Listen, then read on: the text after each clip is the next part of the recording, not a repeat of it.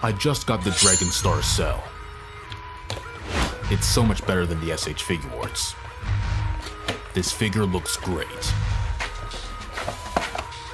The articulation isn't very good though. But that's something I can fix with Photoshop. I'm gonna be using it for stop motion. Subscribe to see it when it's done. But that's why